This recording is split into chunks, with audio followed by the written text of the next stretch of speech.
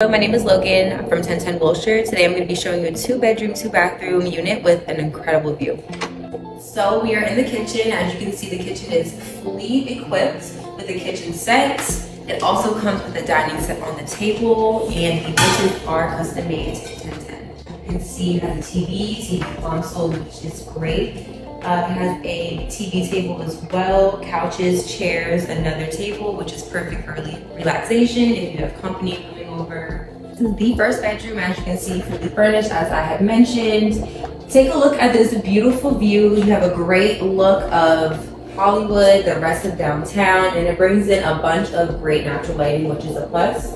We're gonna move over into the bathroom. It's a pretty open space, which is very nice. You have a storage area here and here to hang up some clothing, um, sink, and here is your toilet. Comes with towels as well, and there is a little remote to work the toilet, which is pretty cool. Second bedroom, as you can see, there is a full-size desk, so not only will you be able to sleep, but you'll be able to get a lot of work done, which is really great as well bunch of natural lighting, another view of downtown. And over here we have a little vanity area, washer and dryer in between here. So you can just close the door, open it for easy access into where the washer and dryer will be.